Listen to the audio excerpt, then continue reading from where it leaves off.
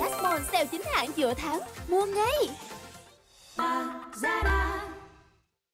Kem xả đột một phút siêu dưỡng. Sử dụng kem xả đột trong một phút bằng một lần chăm sóc tóc chuyên sâu. Mua ngay tại Shopee.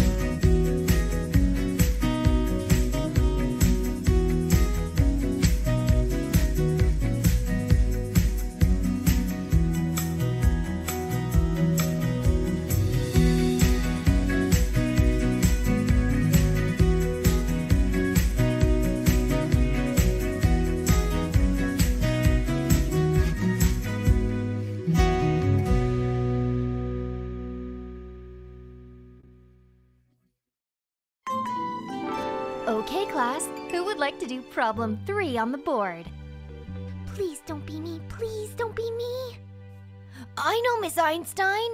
Let's give someone.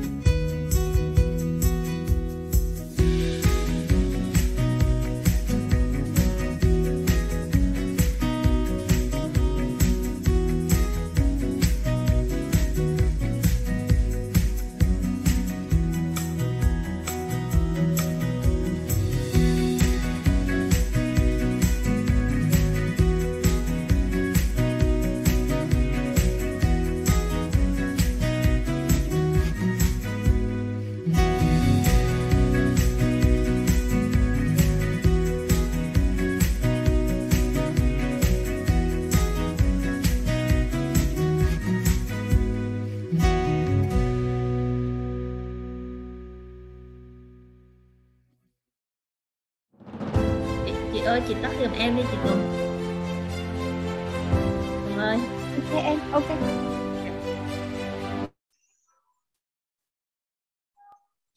Right. Good evening, those who are in Melbourne. Good evening, Professor Garry Carnegie. Good evening. Uh, can you talk? Yeah, just, just, Yes. yeah, I think you should be able to, right? So let me stop Yes. by you for now. Can you hear me okay? Yes, I hear you Good. beautifully. Nice, Uh, thank you. All right. Okay. Um, now, um, so yes. All right. So now, um, for those who probably doesn't know me, um, my name is Đức. I'm working uh, at RMIT University. So the um, I met Professor uh, Garry Carnegie in um, I think in year 2016 when I came back Melbourne around Easter.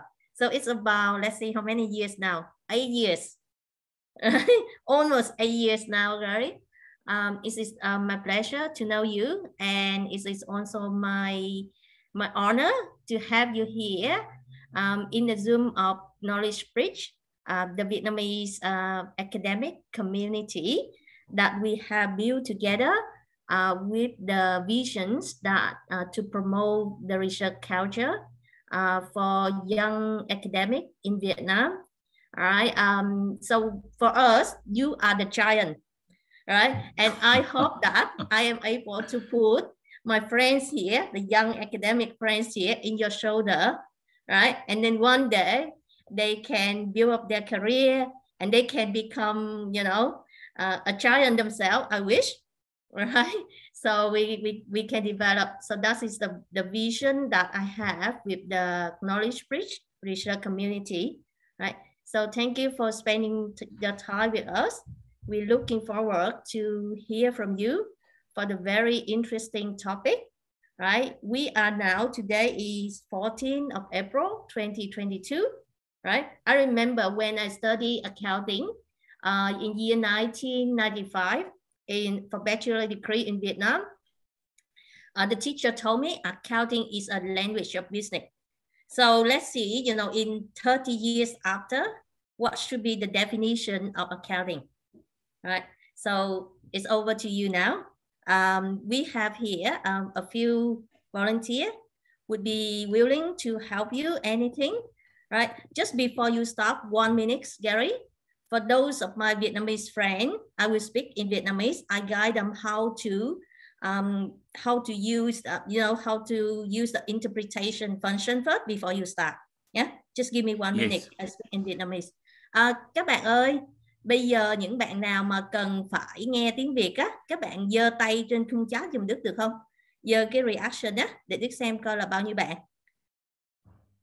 À, rồi những bạn nào mà cần phải nghe tiếng Việt á, thì các bạn sẽ à, làm theo hướng dẫn của Đức nha. Ở nhìn trên cái màn hình cái menu của mình á, ở ở, ở dưới cuối á, nó có cái hình quả địa cầu. Ở địa cầu nó để chữ interpretation. Thì các bạn nhấn vào cái chữ interpretation đó thì các bạn sẽ hiện ra nó có ba cái là nó có là off English or Vietnamese chọn VI Vietnamese là các bạn sẽ nghe đội phiên dịch của Đại học RMIT đó là bạn Lê Văn Khoa bạn Minh Hằng Trần với và thêm sự bổ trợ và hỗ trợ trong khung chat của bạn My nữa bạn My Nguyễn. Rồi à, bạn nào mà chưa nghe được tiếng Việt á khi các bạn chuyển qua thì các bạn nghe tiếng Việt thì các bạn sẽ không nghe được tiếng Anh rõ mà chỉ nghe khoảng 20 phần trăm. Thì nếu các bạn muốn nghe lại tiếng Anh thì các bạn cũng nhấn vào cái chữ hình quả địa cầu và các bạn chọn English EN đó ờ, cái hình quả địa cầu interpretation thì các bạn sẽ nghe được nha. Rồi bây giờ để Đức xem coi uh, rồi nếu như mà các bạn có gặp khó khăn gì á, thì trong màn hình á có những cái bạn gọi là cầu host thì các bạn có thể nhắn tin riêng cho những bạn đó để xin hỗ trợ nha. À, nhắn tin cho Đức cũng được. Rồi yeah I I done my I done my explanation um, right? How to that I see if I'm able to turn on the caption. Uh, right assign participant to type I will type use a third party I'm not sure right okay yeah all right now the floor is yours thank you Well, thank you, Duke. And could I just ask before I begin uh, talking, uh, Yes. about my PowerPoint. Do you have that ready to go? Uh, yes, now I see if I have a volunteer to, I assign the job, that job, so let I Oh, see good. if she's here. Um, bạn Nguyễn Trà My, My ơi em, My ơi em vô chưa? Nếu mà chưa thôi Hằng làm giúp chị đi, chị không thấy My rồi. Dạ vâng, chị có nghe thấy em không ạ? Em là bạn nào vậy? Hằng hả? Hằng Trần ạ. Dạ vâng, thế để em rồi giúp rồi nhé. rồi yeah rồi yes Okay so Hằng um, Hằng you, you probably know her already she Hằng is our PhD student in Yes. RMIT Melbourne so Hằng will be uh, yeah running the slide for you and we have we have converted it into our template Oh, that's very nice. Yes, well, right um, well, as you can all see, I'm just as young as I was uh, when that photo was taken.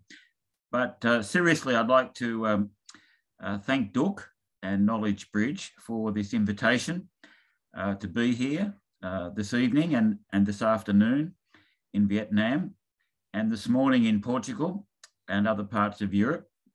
It's a pleasure uh, to be here. I, I like the idea of speaking to the next generation of academic leaders in the world. I think that's a great thing to do, a great opportunity to have. And uh, I'm ready to talk to you today on uh, it's 2022 What is Accounting Today?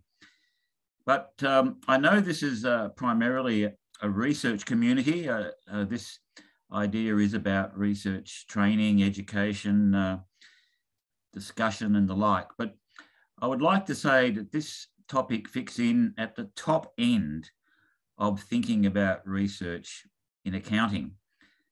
And this may or may not have occurred to you. But if you don't know what accounting is, then what are you teaching? And what are you researching? And so I'd like you to I'd like to challenge all of you to think about that as this presentation is going on. Uh, because I'll tell you up front, I think the current definitions we use in accounting are seriously flawed for accounting in 2022, for the world in which we live, where there are many massive questions or huge big questions and many wicked problems, including super wicked problems like climate change. And I'll make it clear up front that I don't think accounting is reaching its full potential. So I've, I've given you that short introduction to, to put it into the bigger picture of um, why is this important? It's because if you don't know what the definition of accounting is, then I'm not sure what you're teaching to your students, and I'm not sure what you're researching. So if we could go to the next PowerPoint, thank you. Okay. Now, what is accounting today?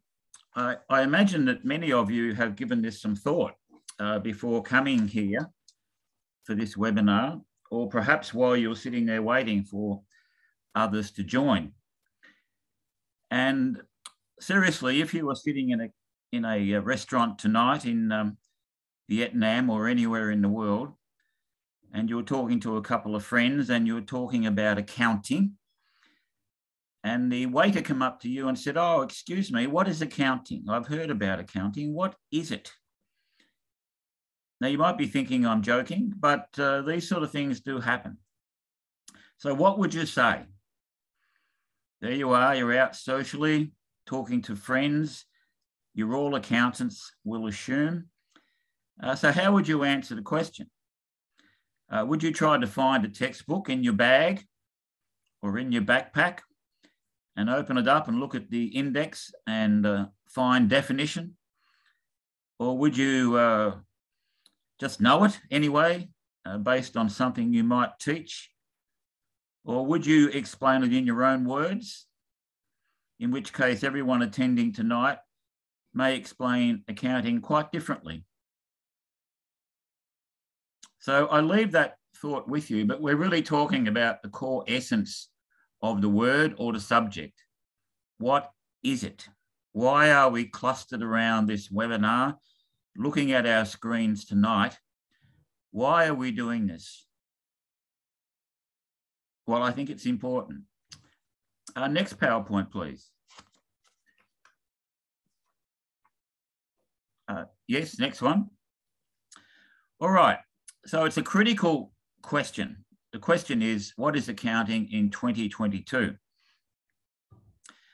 And the definitions we tend to use date back to at least the 1940s. Now, I don't know how many people attending tonight, uh, maybe 82, 82 years of age. Uh, I'm not asking anyone to put up their hands, but I would be a little bit surprised if anyone attending tonight was at least 82 years of age. It's a long time ago. It is a long time ago. So why would we still be using definitions of accounting that date back to at least the 1940s? Why? And the answer to this question is really important because, as I said earlier, it's what we think is accounting is what we teach our students in the subject of accounting and what we do research in when we're an accounting academic. And one thing I will say to you before I said that you will be the future leaders of the accounting profession in the world, and I mean uh, possibly the academic accounting profession, uh, we need to realise that our students today, uh, whether they're undergrad or postgraduates, will be tomorrow's future leaders of the profession, but probably much more in the area of professional practice. Next PowerPoint, please.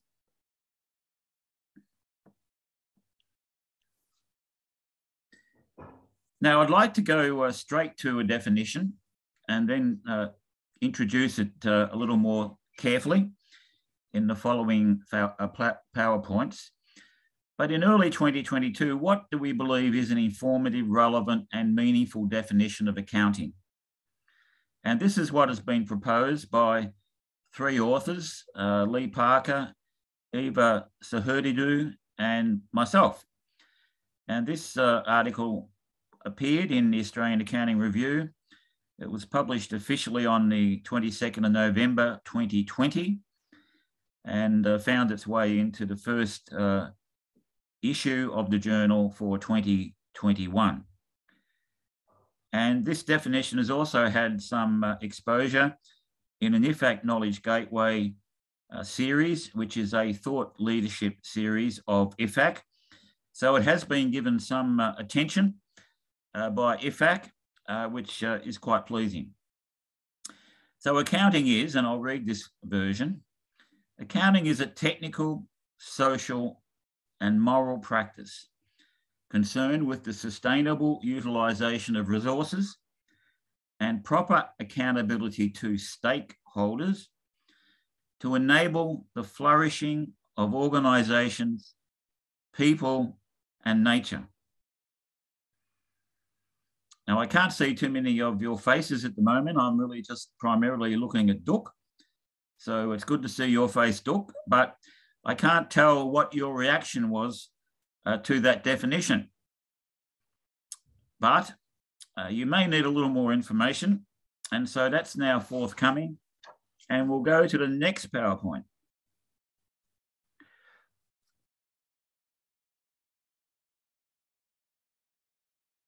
Okay, so here it is.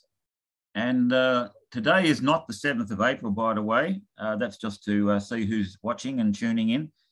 Uh, it's the 14th of April. And on the 14th of April, uh, I'm going to talk about accounting as comprising technical practice, social practice, and moral practice. But I believe quite uh, firmly that accounting is much more than an ensemble or a collection of techniques, concepts, and procedures. In other words, it's more than doing things. It is not a technical practice alone. It is beyond a purely instrumental or technical pursuit. Now, I'm not going to focus much time on talking about accounting as technical practice because I think you know what I mean. I think even in Vietnam, accounting tends to be, if not is, taught primarily as a technical practice. Uh, we go through a lot of techniques, uh, procedures, accounting standards, uh, other rules, and we try to tell the students uh, how to do accounting. And we think that's an education in accounting. Well, it's a partial education in accounting. It's not a full and it's not a comprehensive education in accounting. Now, having made these statements, you can disagree with anything you like. You're a free agent, each one of you. I'm just giving you my view and I ask you just to think about it. And accounting is a social practice. Why? Well, how come? Well, when you think about it, it underlies and enables organisational action and human activity. It guides and influences our behaviours. That's our behaviour. And everyone who's not attending this webinar, it, it um, influences organisational culture in any organisation, any entity, such as universities, such as public universities in Vietnam, and so on. And accounting is associated with ordering our lives. Accounting is a key instrument of ordering us, we who are listening tonight, such as by means of KPIs or metrics. And I think in universities, uh, we know a lot about KPIs and metrics, not just because we're accountants, but our universities have become very seriously interested in KPI type uh, performance indicators and very serious about global university rankings, which I imagine would be uh, the case in Vietnam as well as other parts of the world. So accounting is something that enables action or disables action through targets. So when you think about KPIs, I want you to think about trillions of KPIs in the world.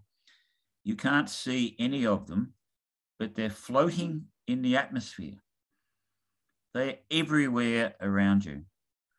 They're at football ovals, they're on the bus, they're in shops, shopping centres, they're in the streets, they're guiding traffic, they're guiding the running of trains, and so on. KPIs are everywhere. There are more KPIs in the world than anything else. And this is how the world is run. And when you think about the importance of accounting, accounting is incredibly important because accountants and accounting is the area where KPIs are undertaken. This makes accountants very influential. And accounting is also a moral practice, a practice whose actions and inactions influence others now and in future and help shape the moral order of organisations and society. So in other words, accounting is not just a technical practice. It's not just a technical and social practice. It's a technical, social, and moral practice, according to this definition. So the next PowerPoint, please.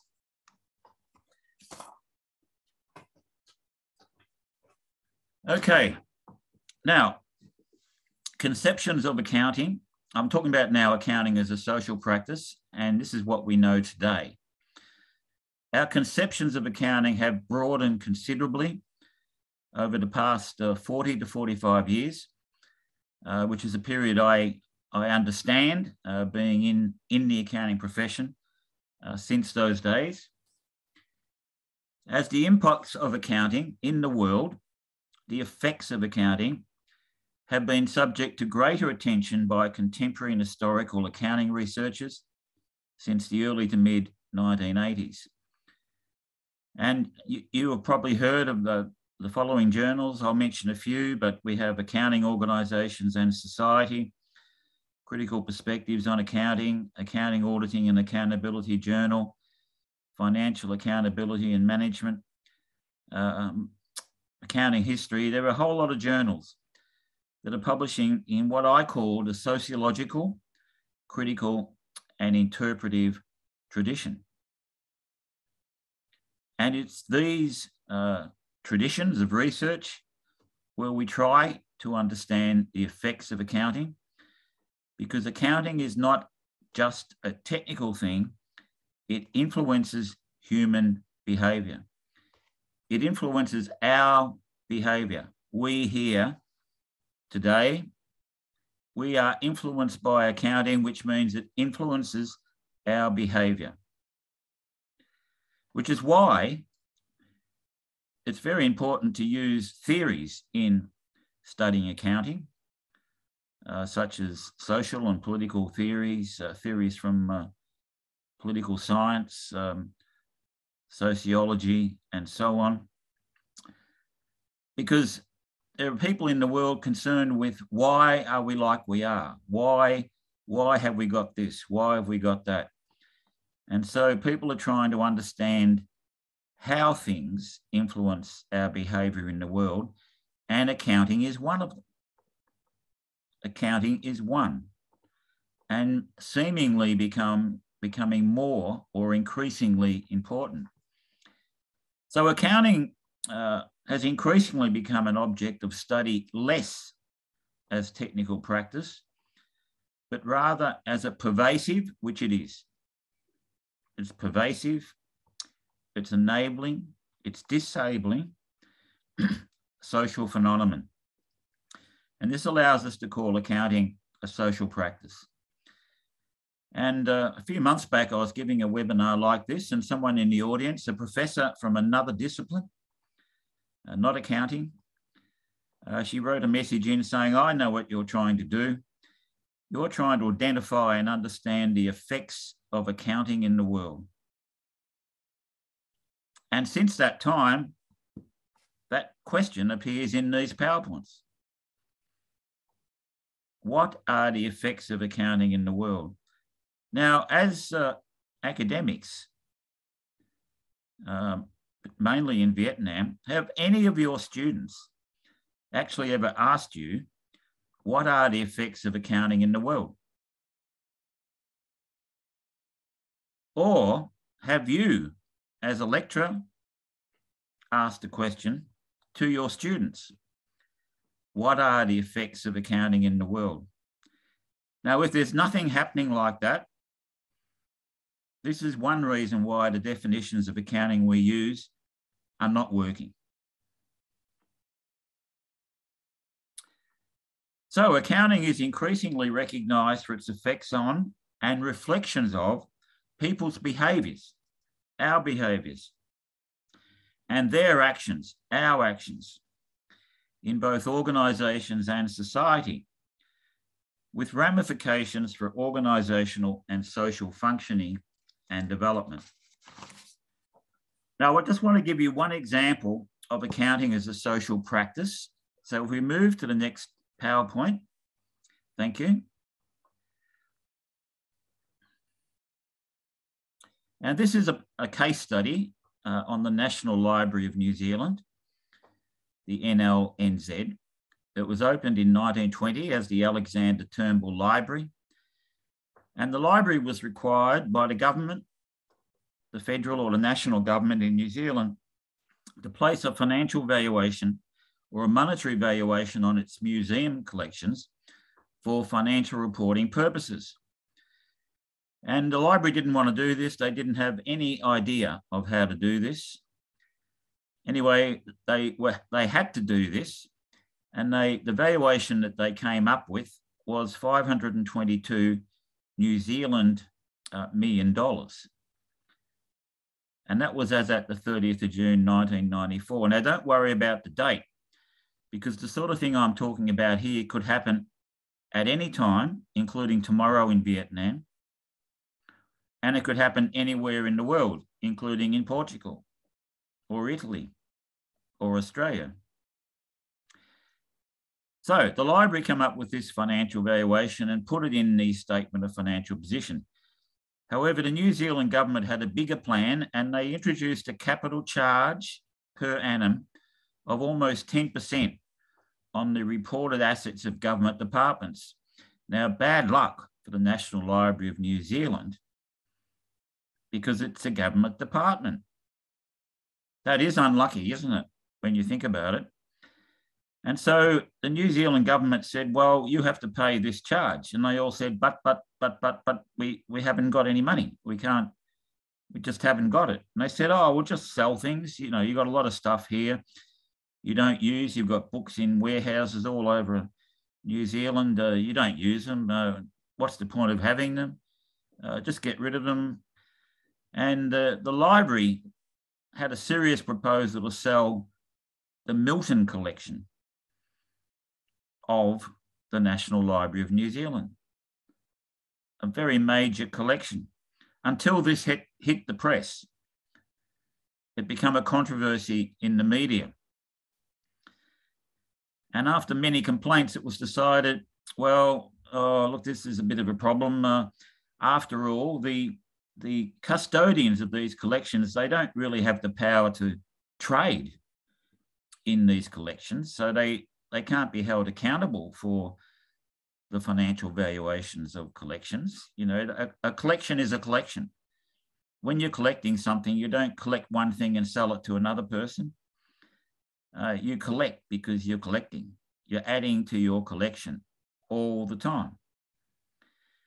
So it was decided to solve this problem with the use of a journal entry only.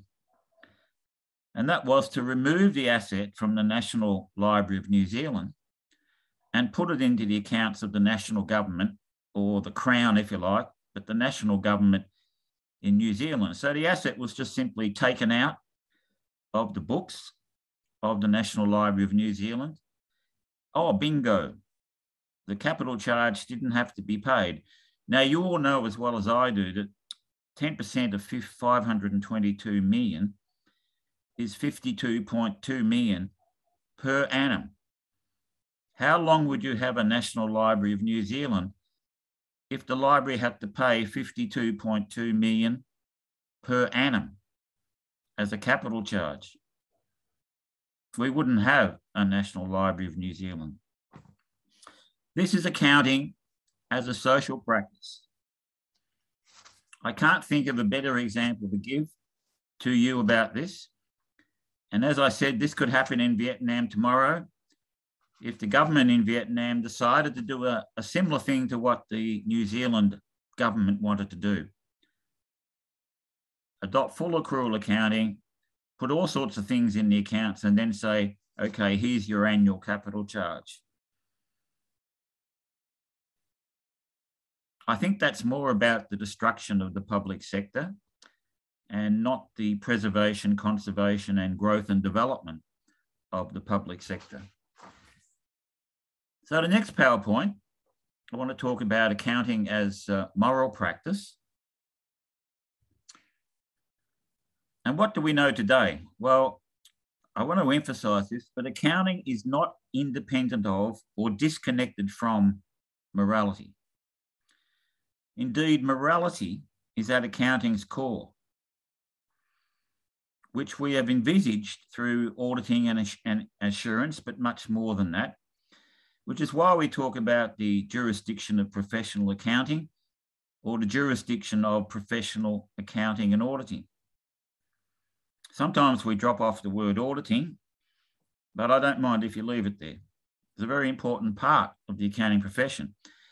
And I would say to you that if it wasn't for auditing, which existed at the time, uh, share markets were established around the world in many countries, such as uh, US and UK and, uh, and so on. I would argue that we may not have stock markets. Because who would, who would trust accounts produced by entrepreneurial people who you don't know, you've never met? Who would trust unaudited accounts in the world? Would you invest uh, you know, uh, your house into a, a company that wasn't audited, even if it was listed on a stock exchange. So when you think about auditing, it's pretty important. To me, it helped to bring about stock markets in the world, and it still helps to keep them operating as we know them today. Because people tend to trust audited accounts. Now, what are the ingredients of morality? Well, there's external audit. We know there's internal audit. We know there are things called audit committees. We know there, are, there is something called the Code of Ethics for Professional Accountants issued by one of the bodies uh, of IFAC, which is known as APES 110 in Australia. And we know there are boards of directors in the world, including independent directors, that are trying to make sure the company is operated on the right footing. It's, it's operated appropriately. It's not dodgy. It's not doing illegal or unethical things. And directors as part of their duties, have to be sure that the CEO and the CFO and other senior executives are acting appropriately. So we want, and I hope in Vietnam this happens, we want accounting students to understand the full dimensions of accounting. We want our students to appreciate how morality is central to the practice of accounting. Accounting and audit must be, and I emphasize must be, trusted by the public. It is not just a technical pursuit. It's not just doing things and putting together numbers. It's a moral practice.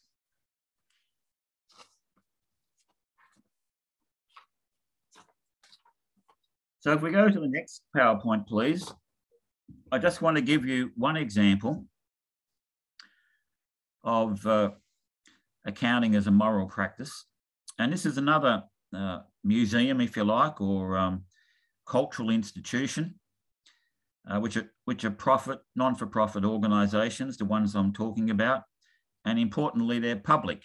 They're in the public sector.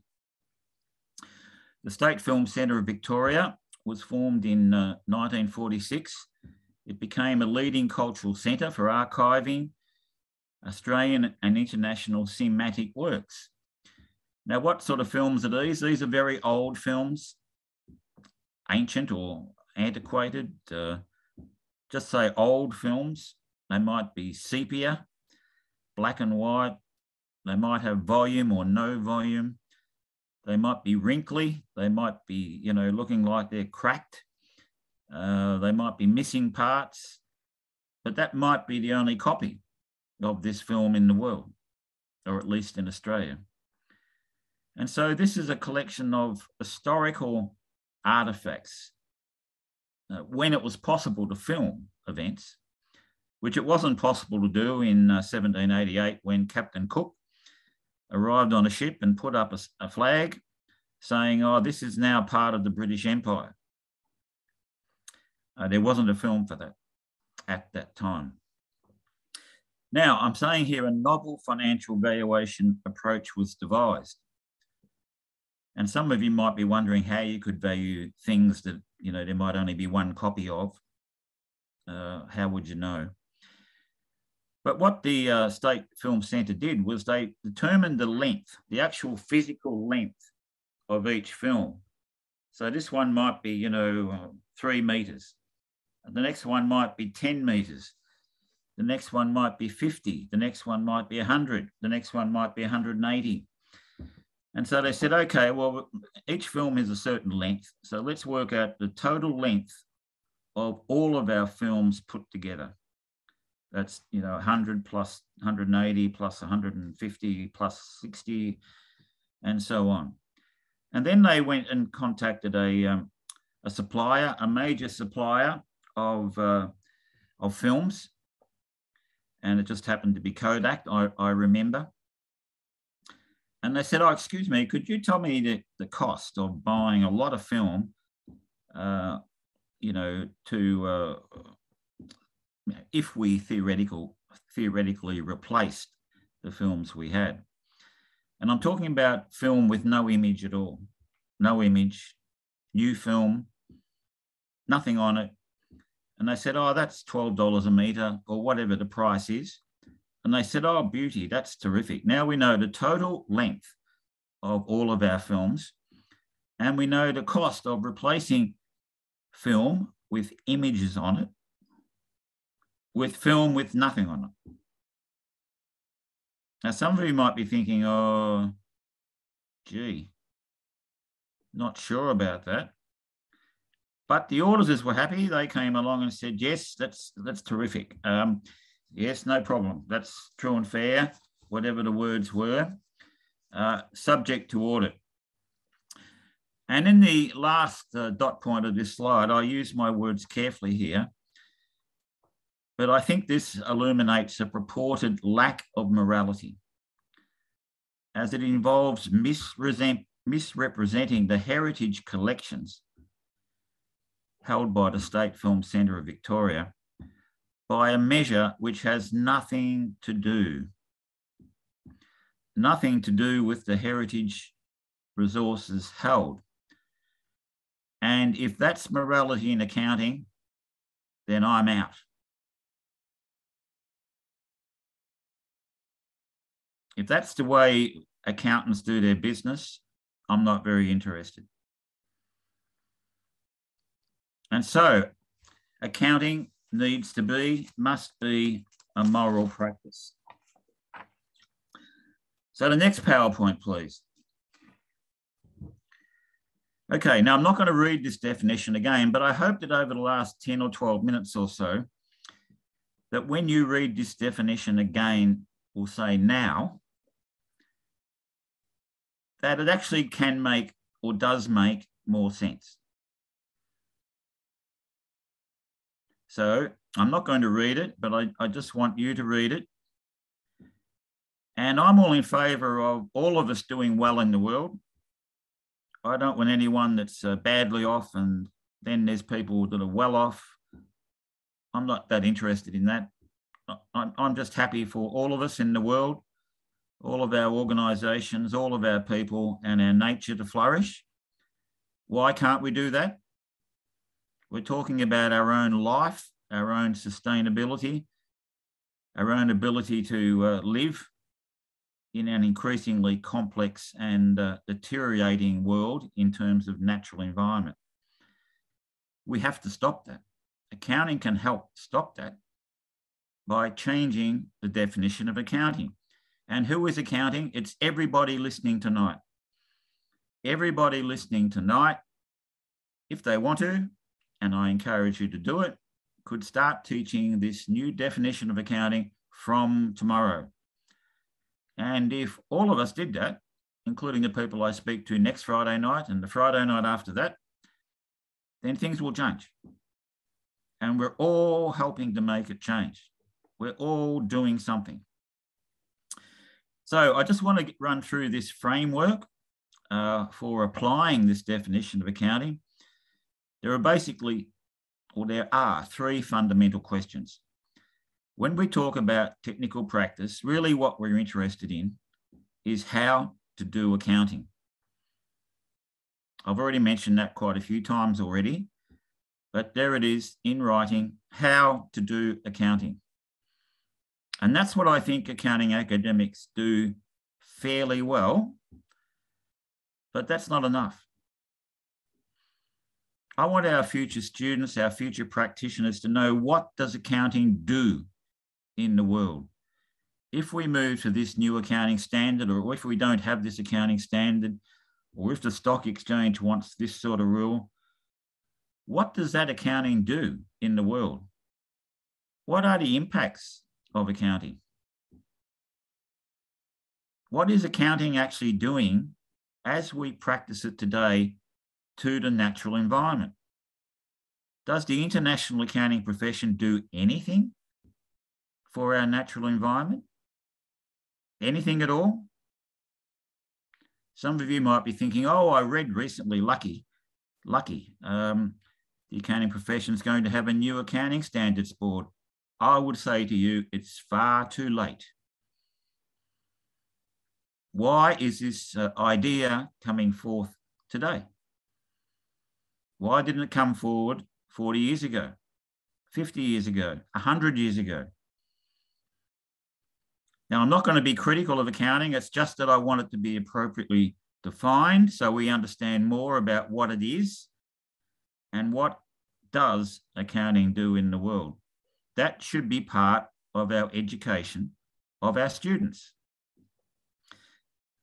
And for, as far as a moral practice goes, the questions to ask here are what should accounting do? What accounting do we need to help preserve the environment? To help stop species of birds and animals and fish becoming extinct? Or what should accounting not do? Why are we doing this accounting? What does this accounting do to our natural environment?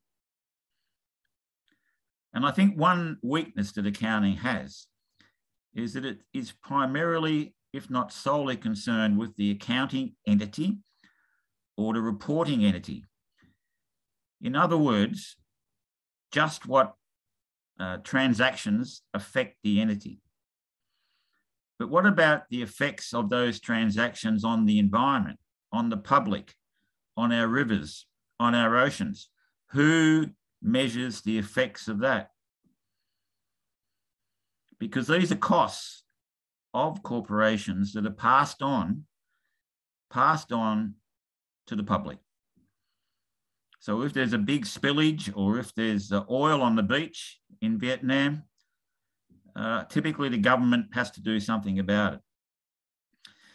So there are some issues in accounting that give us some, some problems, but we, it doesn't mean they can't be solved. So the next PowerPoint, please. Um, do your students ever ask you as a lecturer, is accounting achieving its full potential? Or do you ask your students, is accounting achieving its full potential? Or when you go into the staff room at your university and you talk to some of your accounting colleagues, do you ever discuss this issue of whether accounting is achieving its full potential? Now, if not, I'm going to ask you, why not? Why not? What is it about accounting where we don't have to worry about its potential at all? How can accounting get away with this sort of like lack of accountability? Can't accounting improve itself for the sake of organisations, people, and nature? because I'm now talking about the effects of accounting and the fact that there are trillions of KPIs in the air all around the world, all around the world, including around you where you sit today, that are impacting on your work, what you do today, what you put off till tomorrow. And that all is impacting on the KPIs you need to meet in terms of uh, teaching and learning and in terms of research and innovation. So, what's this idea about accounting for a better world? You know, who says accounting has to worry about that? Well, why shouldn't accounting actually try to help create a better world? Why not? And when we have this, it's when accounting is conducted and deployed for the betterment of society and the natural environment, which means for the benefit of all of us, humans and non humans alike to enable the flourishing of organizations, people, and nature. Now, what's wrong with that? I reckon if any of you have children or even grandchildren, that's the sort of thing that you could tell your children or grandchildren, and they might feel that that's a good thing. And a better world is one in which we act purposefully to nurture the continuous flourishing of organisations, people, and nature. Okay, so now we're going to the next PowerPoint. I hope you're all still awake there and uh, tuning in and uh, not, not getting sleepy by any means. Uh, Duck doesn't look sleepy, so that's good. So the next PowerPoint, which is reflection points.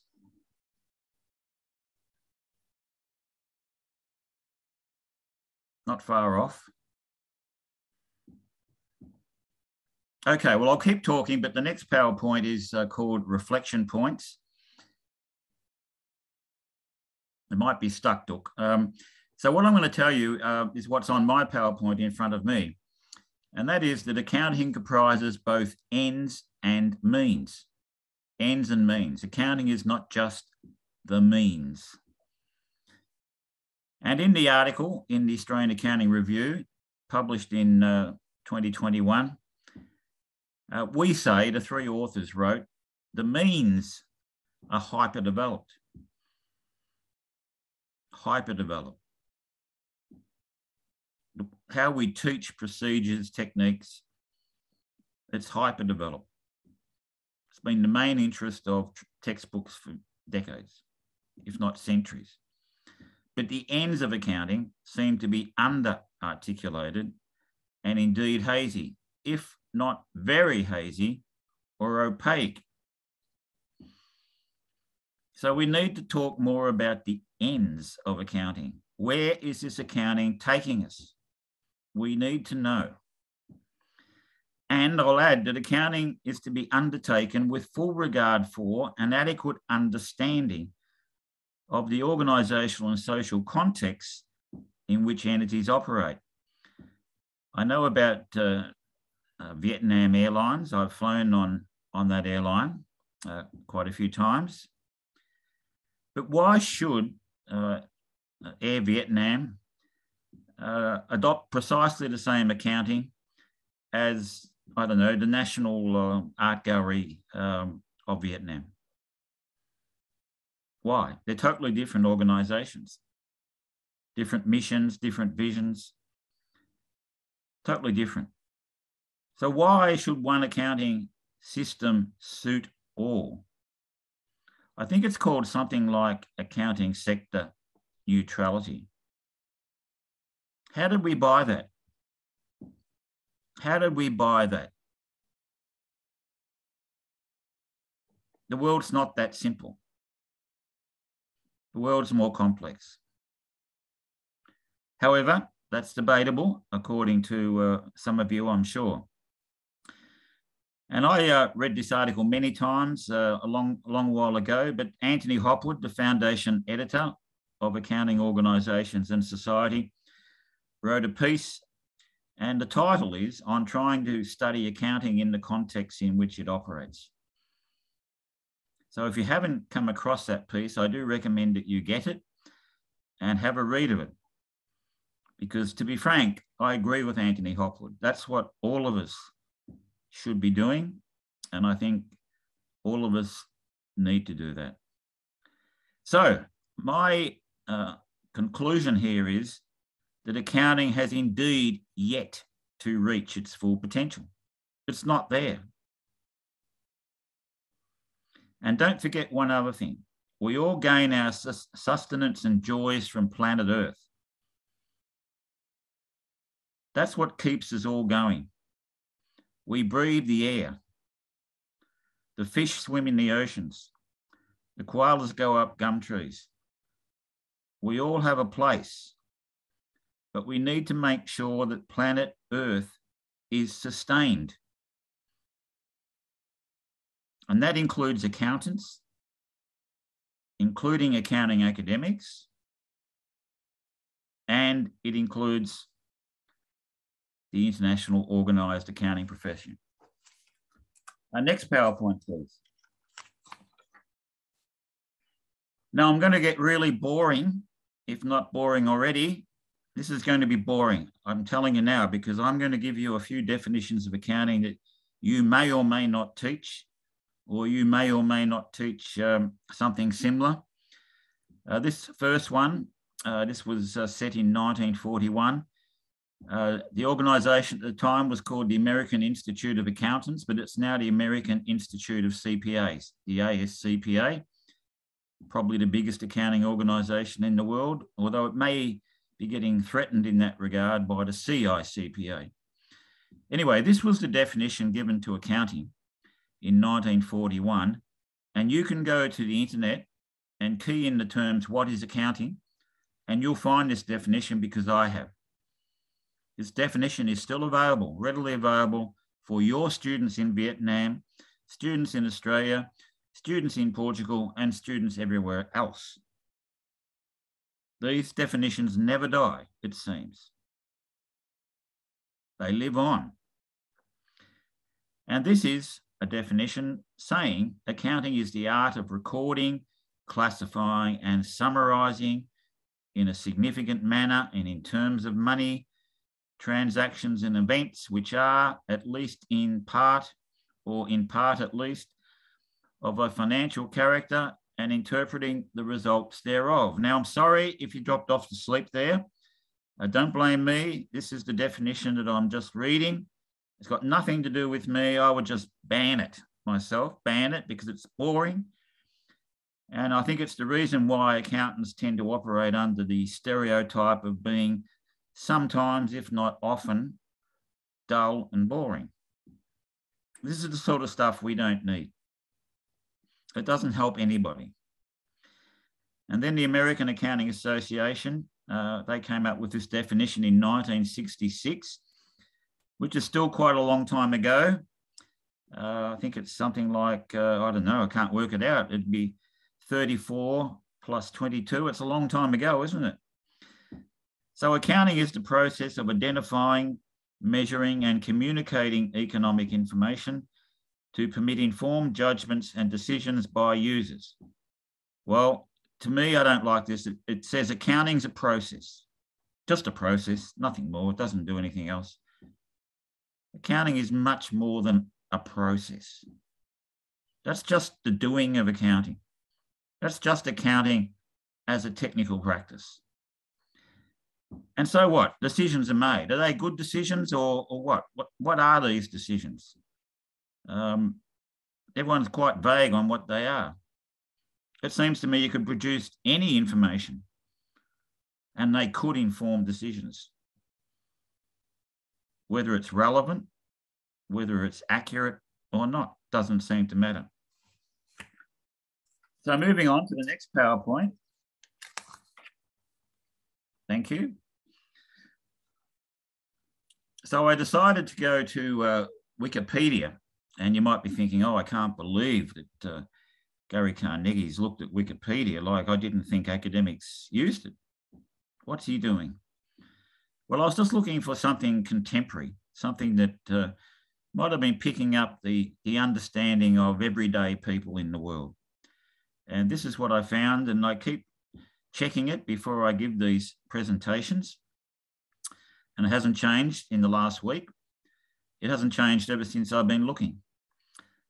But accounting, also known as accountancy, if you didn't know that, is the measurement processing and communication of financial and non-financial information about economic entities such as businesses and corporations. Well, that tells me the orientation is about business. It's about the private sector. It's about making money.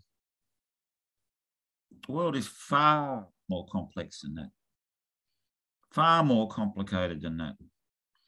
But one thing that this definition does introduce is the notion of non-financial information, which I'm happy with because at least there's a change from the others. And some of you might have heard of Craig Deegan. Uh, he was working with me for some time at RMIT. He's now at the University of Tasmania. And he's written this uh, traditional, not traditional, uh, rather special, tradition, uh, special and uh, long standing textbook called Financial Accounting, now in its ninth edition. And Craig's a bit of a thinker. And he says accounting is the provision of information about aspects of the performance of an entity to a particular group of people with an interest or stake in the organisation, and we shall call these parties stakeholders. Now, accounting is definitely more than just about performance. We know there's financial position, uh, we know there's cash. Uh, so it's more than just performance.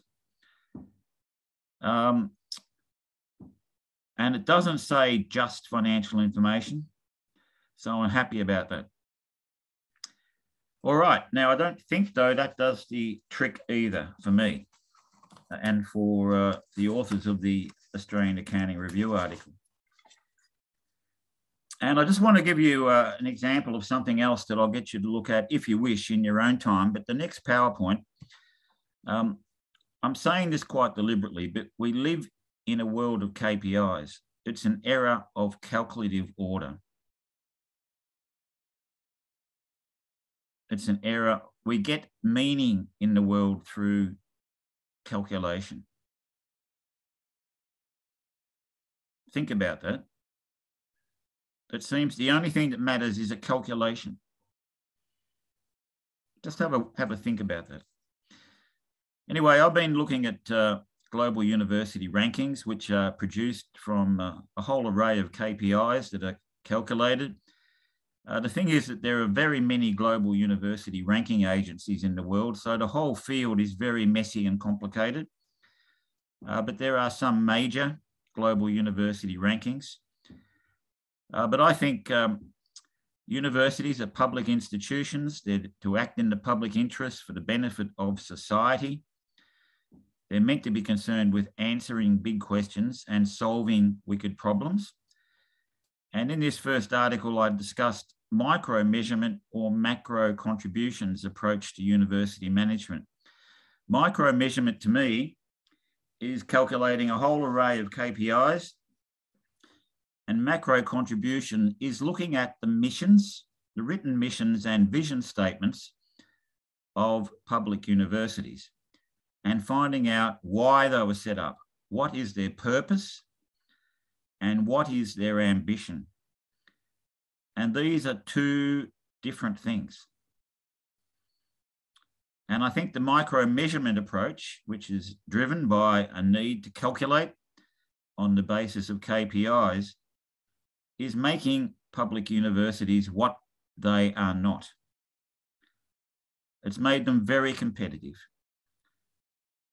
It's moved people away from a system of public universities in a country like Australia and Vietnam to a system of competitors.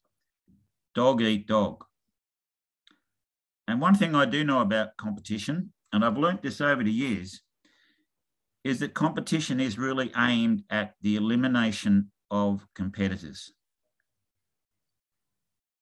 And we know there are um, not a lot of banks in the world. There's four banks in Australia. There's two or three airlines. There's 37 public universities. But if competition becomes rampant in public universities. There will no longer be 37 universities in Australia, I can assure you. So if we just go over now a few more slides uh, to um, uh, this one, which has got summing up on it. I'll just uh, show you summing up. So if you can find that one, that'd be great. So keep going. Next one. We'll just whiz through these. Next one, next one, uh, this is it. Okay, now this is an article I wrote with uh, Lee Parker, uh, joint editor, joint uh, founding editor of AAAJ. It's only uh, two sentences, uh, but I want you to think about this. But we write about the transformative or corrupting power of global university rankings, where the only thing that counts a university is going up, never down, a ranking list of global universities. Because the power of these global university rankings has concerningly stimulated a self interested corporate culture and dysfunctional behaviours on a scale not previously imagined in higher education. The warnings are clear. Now, this is an example of the effects of accounting the effects of performance measurement they are the same thing. So in other words, we need to think more about what accounting is doing. So next PowerPoint, please. Uh, towards a redefinition of accounting, well, um, oh, let me see. Uh, please go back one.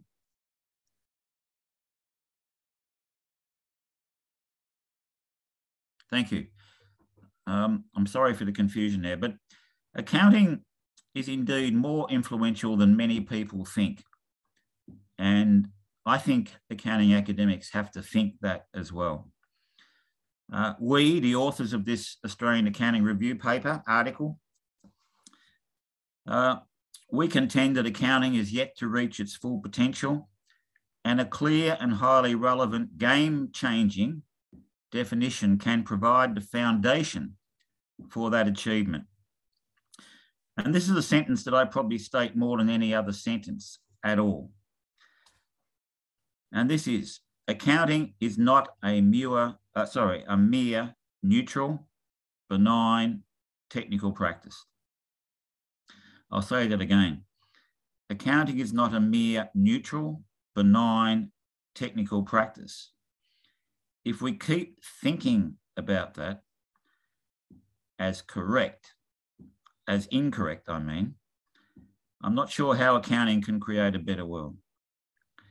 So what we say is understanding more fully the nature, roles, uses and impacts, which I've emphasised, of accounting, we argued will help to shape a better world that is consistent with a more balanced perspective on people, uh, planet and profit.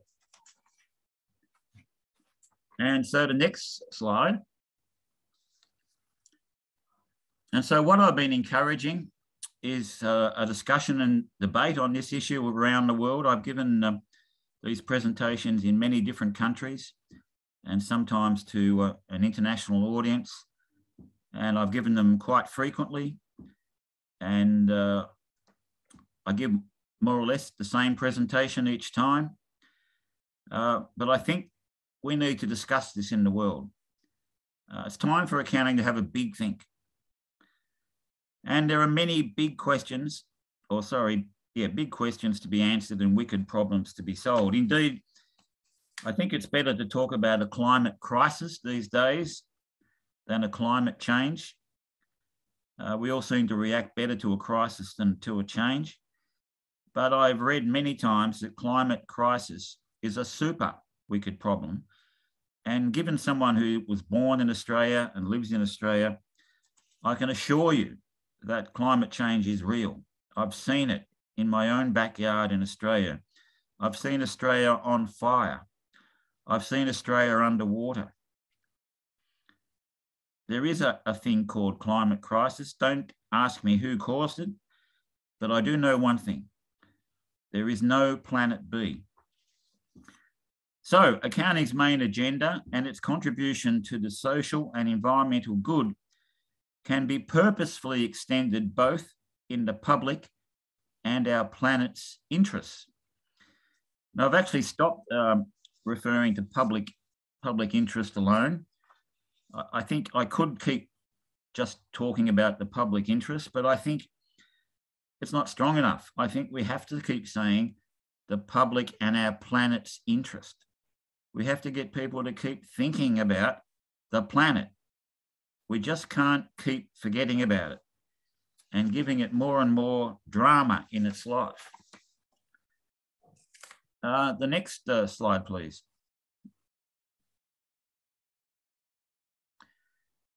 So what we're saying is accounting can and indeed has to be more proactive.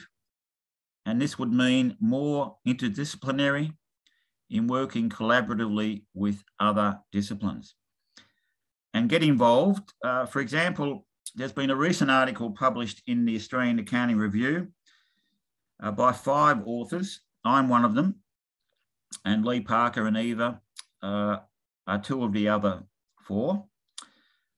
Uh, it was published on the 5th of April, so it's available on the Australian Accounting Review website. but it's also been put up onto a platform uh, that you've probably heard of called Academia. And there is a discussion going on right now as I speak about accounting as technical, social, and moral, monetary practice. Uh, sorry, technical, social, and moral practice, the monetary evaluation of public cultural, heritage, and scientific collections in financial reports.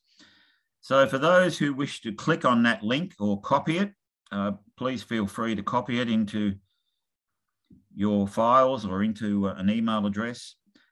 Um, but I'd be uh, grateful if some of you would uh, have a look at this site, if not join as a participant to see what sort of things are being discussed. Uh, it's not compulsory, you don't have to do anything. Um, but I think we do have to work together, we accountants in the world, to help create a better world? I think we do. Okay, next PowerPoint.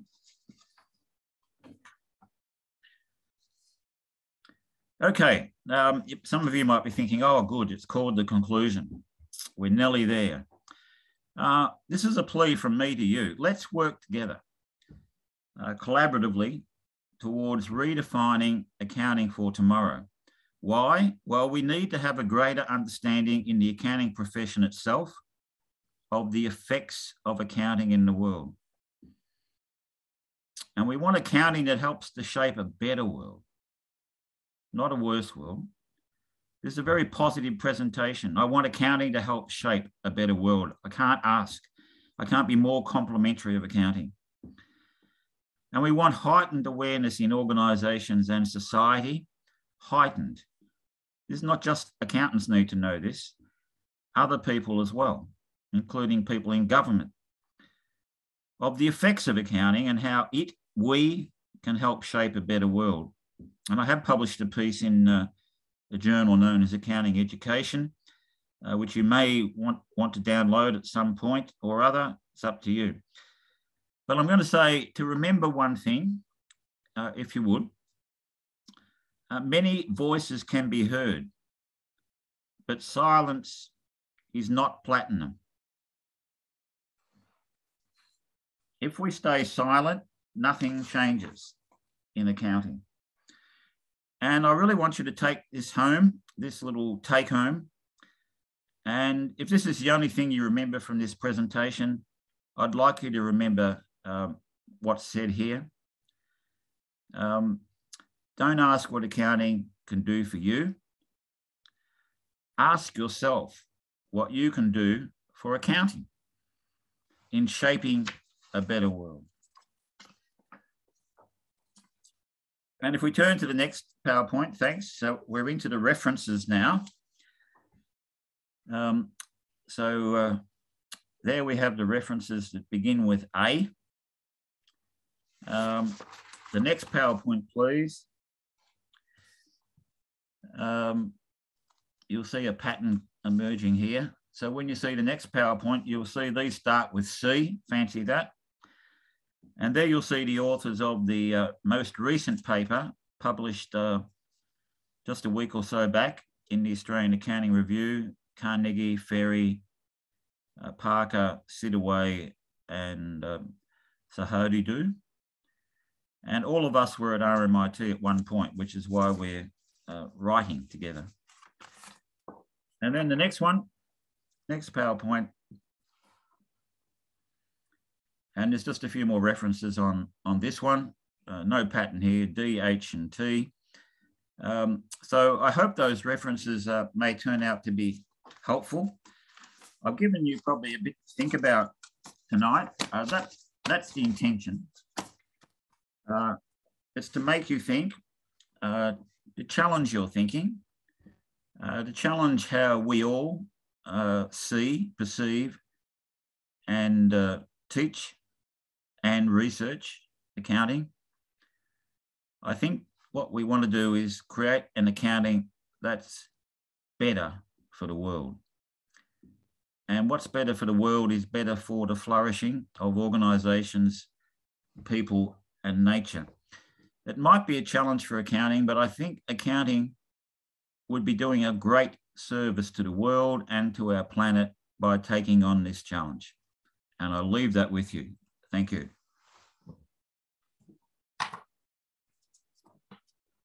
Thank you, Garry. It's wonderful. Even I think that I have listened to this presentation maybe the third time now, but uh, every time it's different, right? A little bit different because, you know, it's the, um, what we call is the ongoing discussion. True. The one that I listened last was by in March, yeah. Um, Yes. right. So um, let's open the floor for our questions. But do you want to have, you know, a couple, a drink for you, you know, have a rest for a couple of minutes? Uh, Yeah. No, I, I'm, I'm happy to keep going. Um, you know, I hope there's not, you know, 300 questions or I might have to be uh, taken taken to bed. But um, I'm, I'm happy for, for you to put, put the questions if you want to read them from the chat. I think you, you need to be the moderator of those. I'm, I'm happy to take questions, yes. Yes. So in the chat, you saw a lot, but actually they are like the translation. So, so we have the interpreter in the Zoom in another room, but we also put the translation uh, in the chat to help people who want to listen Yes, to yes. you. And uh, so, so from the from the questions that I can have, I only I can see that you know my uh Ngọc An, one of our friend, he's uh, put together only one questions. Let I see. So I, I guess that it's not the question, but it's more a comment from Bùi, where is it? Uh, from uh, Huy. Uh, I think accounting can make the better world because the business becomes so complex that sometimes we cannot understand how our business goes. So by do accounting, we know that our business make profit or loss. Is it right? So the, the question for you that to confirm that whether Huy understand correct what you have explained in an hour ago. Um, well, look, I, I think um, we can all assume the world is about business and it's about making a profit or a loss. Uh, the world's not like that. It's just not like that. Yes, there are major corporations, there are people trying to make money.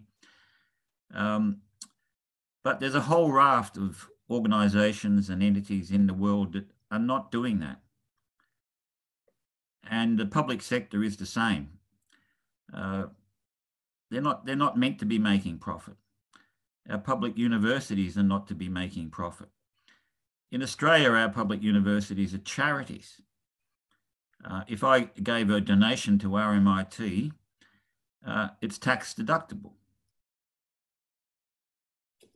Entities that are for profit should not be charities. And so I think there's a more complex world out there. And I would like us to think more about trying to ensure that in operating a successful business, it's not just about profit or loss. It's about the effects of these organisations in the world, uh, whether they're sufficiently covering the costs they may be incurring upon the environment, upon humans, upon the health of humans, upon the loss of species, upon the pollution of rivers and oceans. Uh, the world's got to be seen as more complex than just everything's fine, accounting helps organisations make a profit or a loss. I think that's too simple. And I, I fear that if we teach accounting that way, I think uh, the world's going to continue to struggle. I really do believe that. Now, I don't necessarily think you need to agree with me. You just need to think about what I've said and to see the world as a much more complex place in virtually every field of life than what it's sometimes made out to be. And I do not believe accounting is the language of business. I do not believe that. Could you please stop doing that? Is the only business done? Uh, is that the only business of accounting in the world? The language of business? No. I really think it's misleading. I think it's been written by a public relations expert. Um, I think we need to think hard about the things we throw off the tongue that really are outdated notions that are not good for the current world in which we live. And I imagine that some of you have children or grandchildren, or you hope to. Keep thinking about the world they will come into or are into. That may broaden your perspective.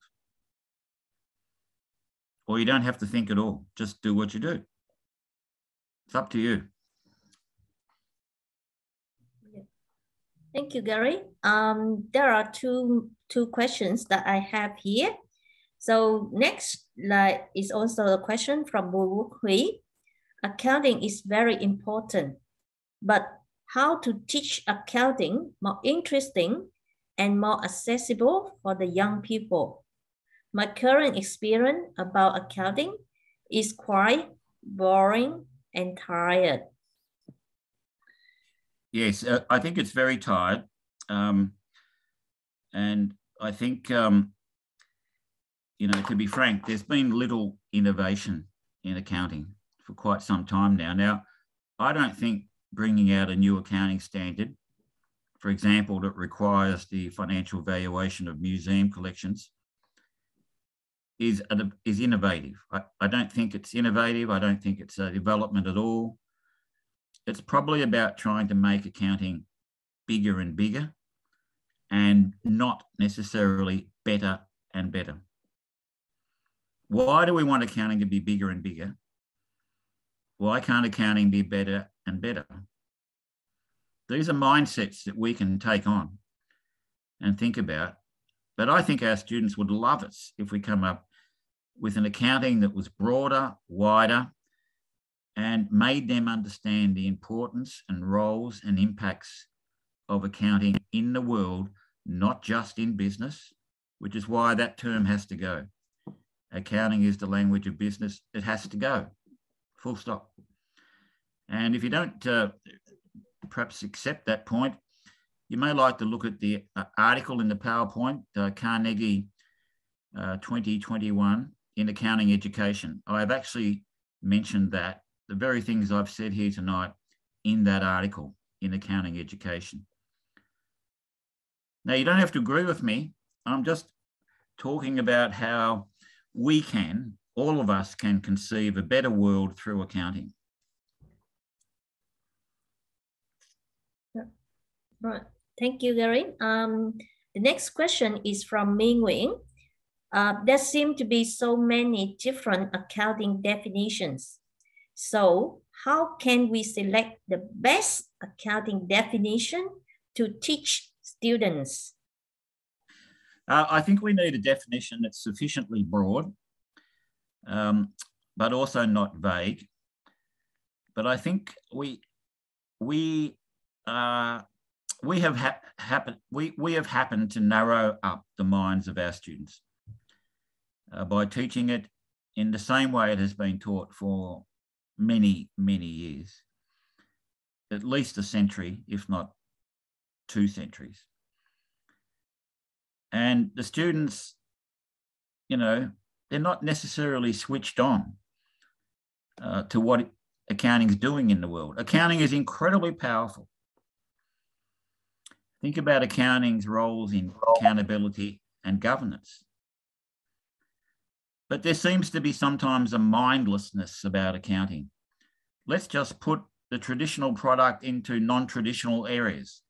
That's not innovation. That's not accounting in the context in which accounting operates.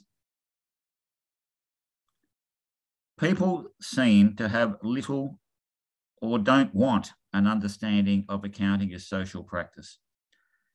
Uh, accounting is very influential. It impacts the lives of all of us. Everyone around this session tonight is impacted by accounting. And everyone in the world, as far as I know, except perhaps people who have no connection with a workplace or an organisation or even a school, uh, they know about KPIs. They know, you know, you have to meet them. Uh, look out if you don't. And I think our accounting uh, KPIs uh, can be broadened considerably in the world. Yes, right. Is um so the next question I have here, quite interesting. Uh is about AI. So artificial intelligence. Um the audience, no, just just give me a second. I open it. So the question is, do you think one day accounting will be replaced by AI computer? Uh, um, well, I, I hope not, because um, I'd just like to know who audits um, the information that's uh, contained in AI systems. Who audits that information? Can we actually trust any of it? Tell me who attests to AI um, data. What statement do they prepare every 12 months to say this system, this data, this whatever it is, you know, it fairly represents blah, blah, blah, whatever. Can you tell me, is AI information verifiable? And if it's verified, if it's verifiable, is it verified in practice? Who are the auditors of AI? And until we know the answer to that question, I don't think AI can take over accounting. AI is still immature. Yeah, right. Um, I have another questions from um. Right, so she asked, um, no, just just as I see, um, on the definition of accounting that you just mentioned, which level, uh, which um, degree that it can be taught. So we know in Australia, accounting is taught in high school, not yes. in Vietnam. In Vietnam, um, accounting can be taught in like TAFE, right? Yep. We call it college, but it's equivalent to TAFE in Australia. In bachelor degree, so undergraduate, master graduate, uh, master, the postgraduate, uh, and also PhD when they do the research. So in your opinion, uh, the definition, uh, the new definition, can it be taught in which level? Uh, all of them. Okay. All of them. Yes, I think I think all of them. I think um, I think we have created, you know, as I said before, a whole generation of, of people, if not more than one generation of people, who think accounting is the doing of accounting, that accounting is accounts. And then you put together the financial statements. Uh, but accounting just doesn't sit there like an ornament on a shelf. You can see I've got a lovely plate here um, from Portugal. Um, that's not accounting. Accounting doesn't sit on a shelf and say, look at me, I, don't I look great? That's not accounting, not an ornament.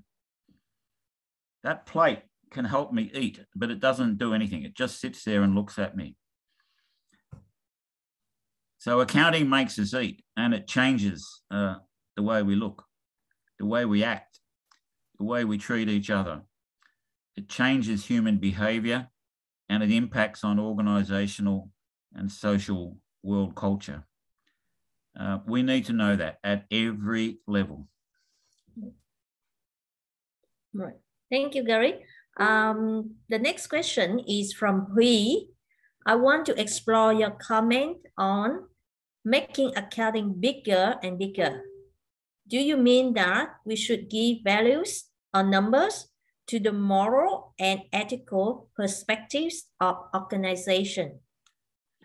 No, I don't. I, I don't um, uh, believe that's what I'm talking about because I think accountants need to understand that some things in the world have value, but they're not financial value. And certain assets are in the world and put in certain sorts of institutions to be taken away from the economics of the marketplace, such as the collections of uh, public museums. So these resources are highly valuable. They're prized, but they have no financial value. They've been removed legally and under the constitutions of the entities that uh, are custodians, they've been removed from the economics of the marketplace. And so these resources uh, don't have to be valued at all, but they're valued in non-financial terms. And heritage professionals have means of value using terms, uh, phrases, you know, all sorts of words and terms to give value to things that are very important. And I don't mean accounting can uh, can take on a project accounting for love or accounting for happiness. I don't I don't believe in that ever, either. Uh, but I think uh, a number of people have wanted accounting to be better and better. That's not my view. My view is I want accounting to be better and better. Thank you, Garry. Uh, the next question I have here is from Wing Lin. How can administrators and society appreciate the role of accountants? Through the income paid to the accountants in Vietnam, I see that they do not appreciate the roles of accountants. So she indicated that potentially accountants are underpaid in Vietnam. Oh, look, I, I could imagine uh, that could very well be the case. Um, um, you know, I think that'll probably change. I do, I do think Vietnam is is going well uh, as a country. I've been there many times. Um, you know, I think um, wages uh, will eventually increase, but I think accountants who see accounting as technical, social, and moral practice are better equipped for what I think the world needs than those that are good at numbers. And I also don't believe you have to be good at maths to be a good accounting student. Correct. I agree with you. Uh, so is there, so this question is from Wing Hằng. Is there any standards or techniques related to moral practices and social practices? To answer the questions what does account i'm not sure it's accounting or accountants do and what should accountants do or do not? And what should accountants do or don't well i think we just need to open our minds to what does accounting do um, you know i think we need to uh, think a lot more about that but when the uh, um, cultural institutions in new zealand valued their collection collections, such as the National Library of New Zealand, they had no idea, no idea that the government wanted to apply a capital charge of 10% per annum. That's incredibly sneaky. That's incredibly uh, archaic. Uh, it seems to be a mission to uh, decrease the size of the public sector or decrease the importance of the public sector. And all I can say is accounting was part of that. Accounting was part of that idea. I know people, accounting professors, who advised for this to happen. I know them personally. I think if accounting wants something done, or if the government wants to use accounting in some way, we need to know about it. Shocks are out. We don't need shocks caused by accounting. So we need to just think quite differently about accounting. Now, if this is too hard, if there's not a book you can buy tomorrow on it, then you might not be ready for this cause. But I think we need to think beyond, oh, can this be feasible? Yes, it can be. We need to work out how to make it happen. And I think the aim is for the betterment of the world, not just for the benefit of accounting and accountants. Yeah, thank you, Garry. So the next question is coming from your answer. So you gave three that new definition, accounting as um, technical, social, and moral practices. So the question is, technical practice, it can be audited but how about social and moral practices?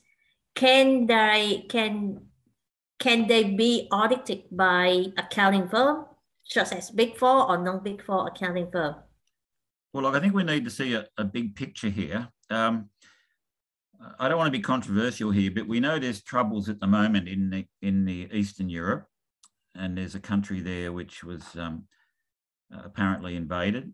Uh, well, that's the term that I've heard, and we know there's been some sort of war or battles uh, going on there. Uh, but I wonder how many people think attending tonight that the country which invaded the other one was in the right? Or was it that the country that wasn't uh, invading anybody but was invaded was in the right? I think the world typically has pretty clear views on this. I think when you see something going on that's not right, or it's completely wrong, or it's dodgy, or it's unethical, or if it's illegal, most people tend to pick that up. You know, they we accept the fact that that's not right. We don't want that. I think it's easier to determine what's moral than we think. Uh, what's moral is what collectively we believe is, is the right thing to happen here. And that's the right thing in an ethical sense. And as far as social practice is concerned, we have to see accounting as changing the world. It's an instrument of power. It's an instrument of change. I'm not saying it's a bad instrument. I'm not saying we don't need it. But we need to see accounting as changing things in the world, and whether that's what the world needs is another issue. Uh, we hear about um, climate change. Uh, we hear all sorts of forecasts about that. I would like to know how we can use accounting in the world so as to help countries and organisations actually meet new targets for greenhouse emissions and so on and so forth. I, I think this is accountants just thinking differently. But you can't think differently if you think accounting's just a technical practice. And once you do it, it's done, that's it. Nothing happens. Because that's not accounting as I know it. So why do we define it differently? That alone is a very important question. It's probably a top research question. Why is accounting defined as it is? in the world. It's, it'd be a very big PhD. okay, so calling for a PhD research proposal. Anyone in the Zoom? you will be supervised by Professor Garry Carnegie. yes, well, I won't. I won't say yes to that, but uh, it's, um, these are things that could be done. I'm not saying do it, but um, I think we can think differently. I think the world needs different thinking accountants. And I'm suggesting with two other colleagues a definition that could be used to broaden our mindsets to help see accounting for what it is and what it does and its importance in the world. And then to be able to benefit not just profit entities, uh, but all organisations, profit or non-profit, public or private, voluntary or uh, military, and so on. Um, I think I think we just need to think more broadly, and when we've got a broader mind, uh, we can have a broader vision. True, I agree with you. Right. Um. So um, the next question is how is the accounting beneficial for me as an individual? Uh, could you just say that again? I missed oh, the last bit. Let's let I translate. So the the original question is how is the accounting beneficial for me as an individual? So I guess as, that as an individual.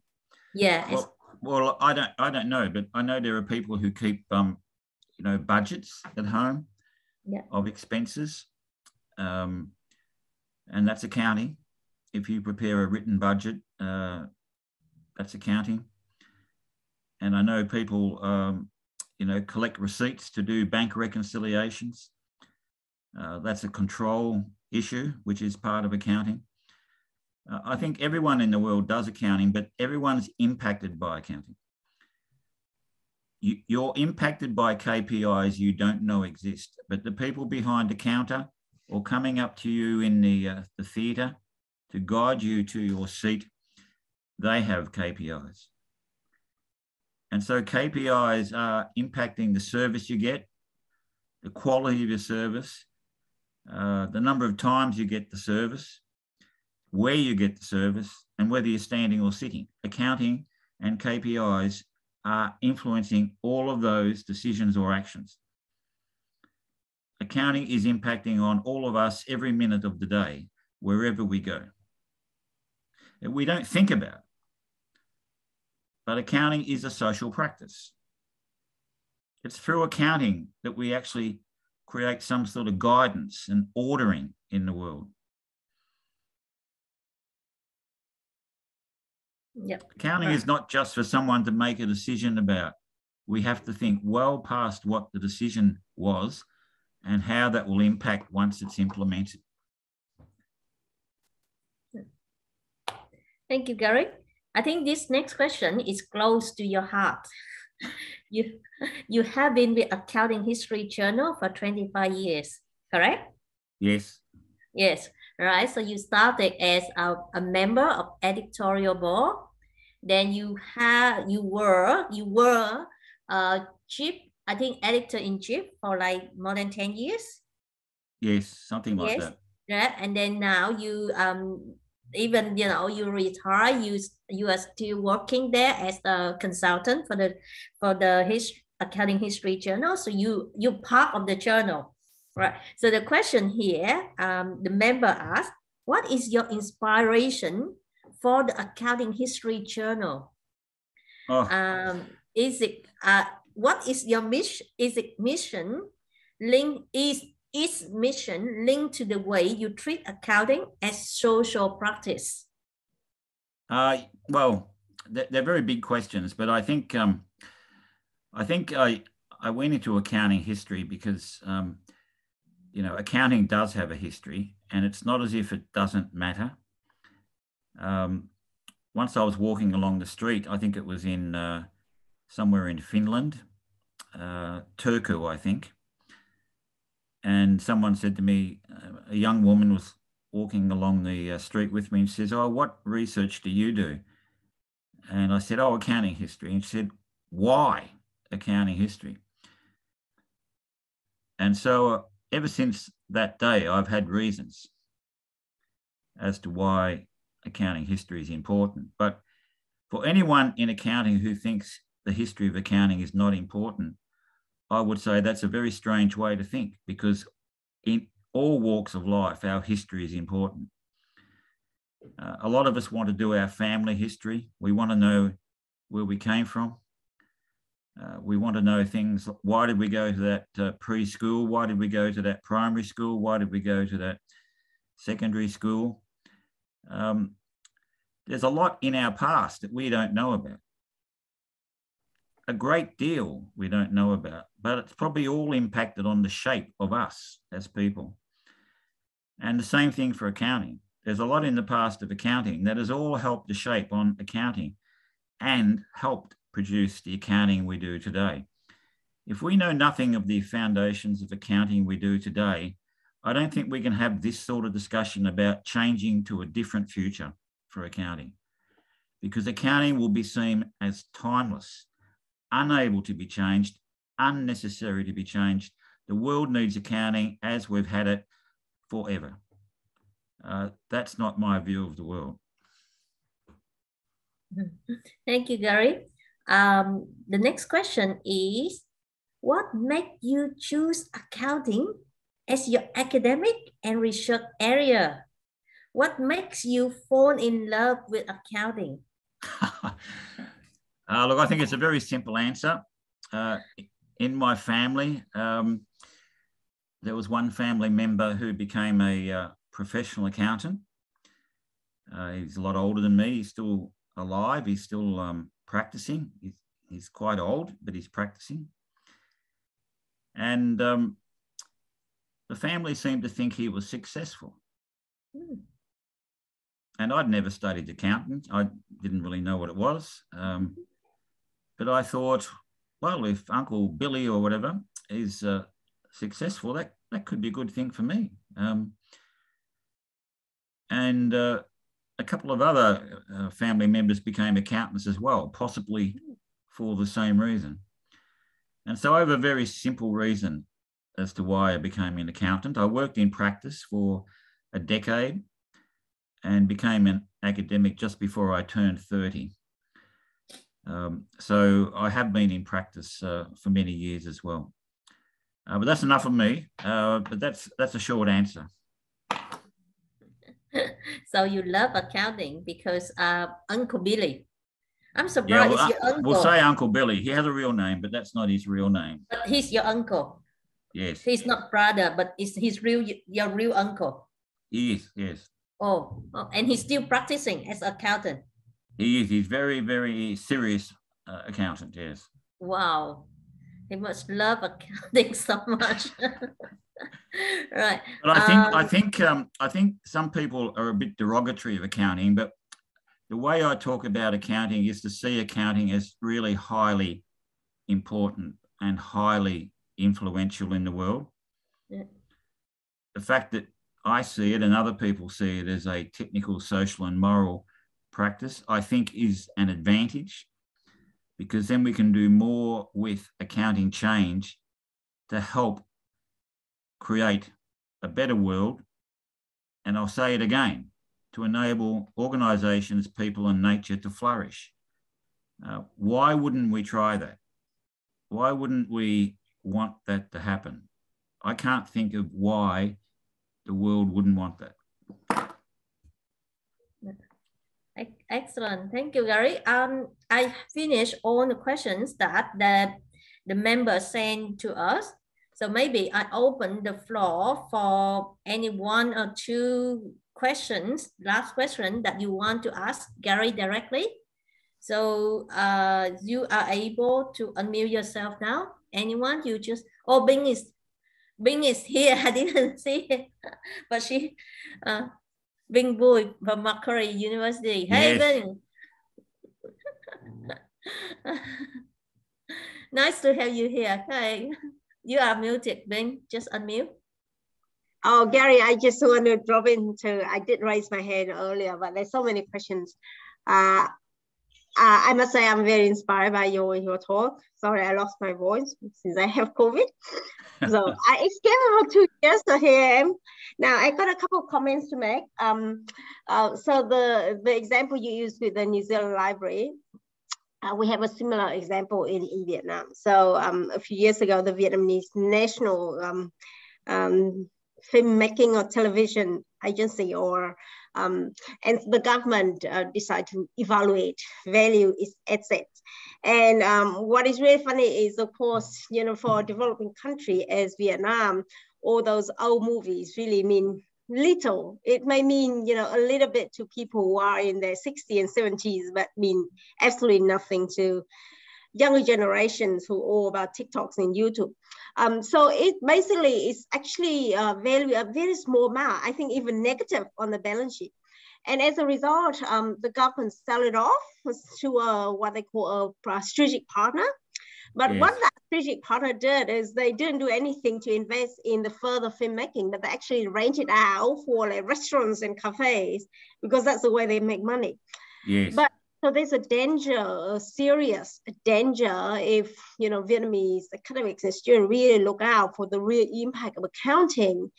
Is if you're not careful, accounting is used as a tool for serious destruction of, mm. of you know um, well-being um, values by trying to quantify. So I totally agree with you. Things, uh, certain things can't simply not quantify because when you try to quantify, I actually give the weapon to somebody try to sell it off or compare it against something else.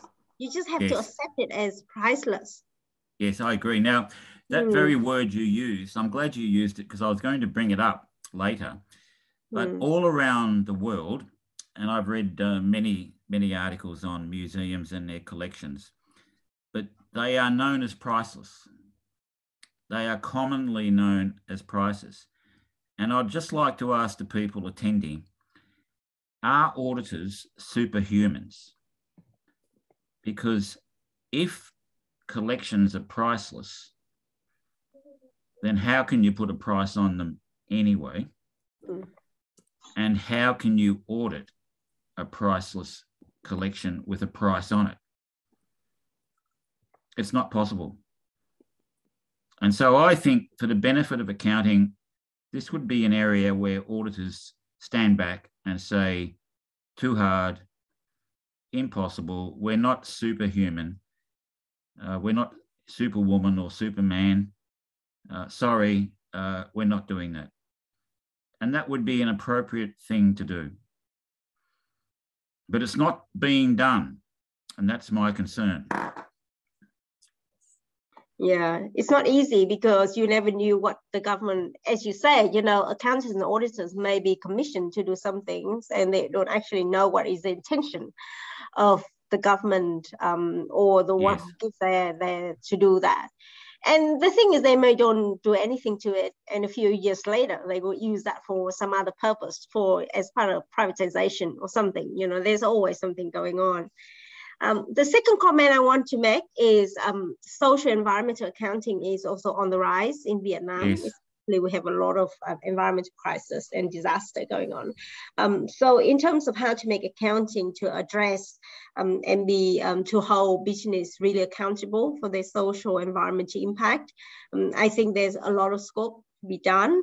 And I realize your idea of how how accounting can have to change or shape the better world. As we know, the IPCC has result um, has released the most recent um, report saying how urgent Mm. um, and how little um, actually how little progress we have made, but also how little time we have left in addressing all this. Um, so part of the, the project I'm doing uh, and other people doing is really to hold organizations accountable towards the, the real uh, progress they make towards meeting those 1.5 targets. Agreed. Yes, agreed. And I find it's really funny how the government has talked it at the national levels, but we actually haven't.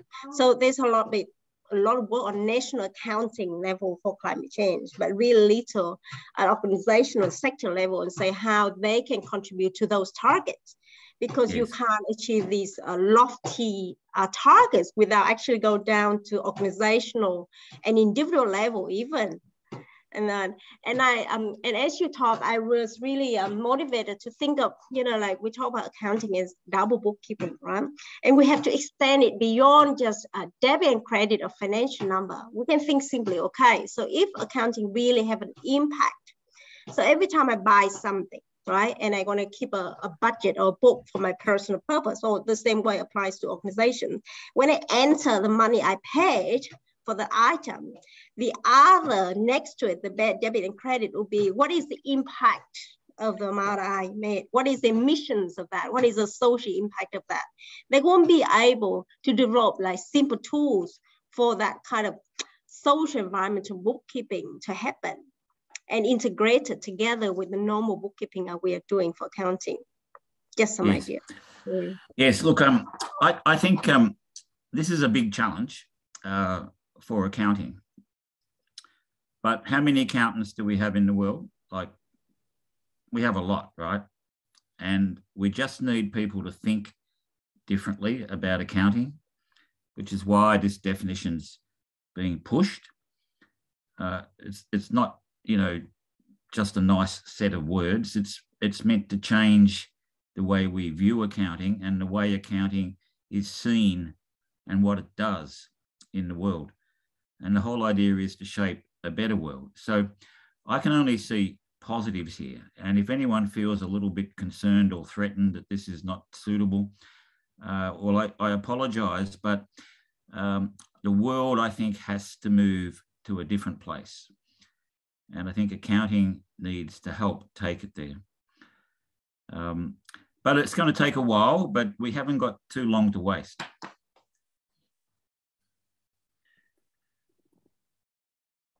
Okay, I'm just looking at the time, Ben. Um, I might have to wrap it up now. Is there a final question? Not Ben, um, Duke.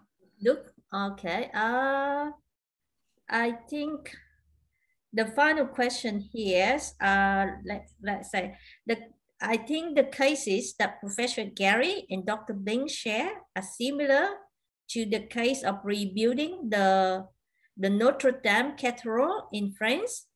It cost the French government tons of money, but they still do it because it's it, because of its heritage and icon. Is it correct? It is correct. Um, you know, I think when we protect our our artifacts or our, our Notre Dame, we're actually paying respect to past civilizations who helped create the world we we are in today. And I think as respect to them, we we do try to preserve their their major artifacts uh, as you know a token of appreciation and also for education and understanding and hopefully more tolerance in the world. And the other thing I'll say about museums is I, I watched very carefully the Ukrainian people uh, take artifacts out of their museums because they were concerned that they would be bombed or just simply destroyed and moved them to a secret location. I don't know where that is, um, meant to be secret because they don't want to lose their artifacts. They're, they're objects that have been part of their growing up as a country. Very special. There's no financial value. There's no uh, cost benefit analysis you could do on that shift. It's just non negotiable. It has to happen. So, on that note, I'll, I will close. And I'd like to thank everybody for tuning in. I can now see some faces, which is a little bit more interesting to me. I did see a, a number of photos and I, have seen a lot of names, uh, but the faces are, are real and uh, it's good to see the real faces and I can see uh, some smiling now and it makes me believe I'm in the real world and not just a computer. Thank you. All right. So everyone, can we please turn on the camera that we are able to take a group photo? uh, together before we say goodbye to Professor Garry Carnegie? Yes? All right. All right. I should, I forgot, I should do it from the beginning, yeah, when we have over 100 uh, members. Oh, it, I see. Yeah, it's either a nice surprise to me because I didn't receive many uh, registration at all. I do worry a bit. but you know the turnout is is really good. So well, yeah. it's been a very good turnout, and and I'd like you please try to be proactive. Uh, you can completely forget what you heard tonight, but I would much rather you be proactive and work with many other people, including Ben there and other people all around the world who really want accounting to do better. Uh, thank you. Uh, thank you, Garry. Um, right. Um, so everyone, you are able to turn on the mic now. If you want to just, you know, um, maybe together with me, say thank you to Garry and have a good night, Gary. Have a happy thank you. Easter. All right. And, and, and thank you very much for the invitation thank and thank you for tuning in. Uh, right, okay. Everyone. All the best. See you. Enjoy your break. Bye bye. Have a good night, bye Gary. Bye. you. Yes. Rồi. À, cảm ơn cả nhà. không không nghĩ là lên đông như vậy, không ai đăng ký hết mình. Trời ơi. À, lúc mà Gary hỏi Đức hả? Đức ơi bao nhiêu người đăng ký không dám nói thiệt luôn. Tại vì hình như có mấy cái phiếu đăng ký là chưa tới 10 cái nữa. rồi, cảm ơn bạn Khoa, bạn My, à ủa my còn đây không my đâu rồi my ơi em đâu rồi cảm ơn chị tùng à cảm ơn ngọc anh những bạn tình nguyện viên yêu thương của nhịp cầu trí thức à, đã giúp cho cái buổi này à, successful ha khoa hả? Đúng không? Lần đầu tiên được làm chuyên đề về kế toán. Rồi mọi người có thể mở mic được á mình. Rồi. À. trong đây tất cả mọi người có ai là không làm kế toán mà tại vì tay tự nhiên tò mò chui vô không? Các chị này Đức à chị Tùng hả? Chị là vô nhưng làm không phải vụ. tò mò không phải tò mò cũng muốn nghe nhưng mà quả thật là cái bài bài trình bày của ông ấy thay đổi hẳn quan điểm cũng như cách hiểu của chị về kế toán á. Dạ. Chưa bao giờ chị nghĩ đến trường kế toán nó sẽ liên quan đến những cái vấn đề về ờ, giá trị hay là những cái vấn đề xã hội môi trường chẳng hạn. Dạ. Hoặc là những cái vấn đề toàn cầu khác. À, cái- đúng rồi. Có có nhiều cái có nhiều cái định nghĩa rất là khác đúng không? Mà đâu phải kế toán chỉ có nợ có và những con số đúng không mọi người? Yeah. dạ. rồi à, có ai muốn chia sẻ gì nữa không? Trước khi mình tạm biệt nhau nè.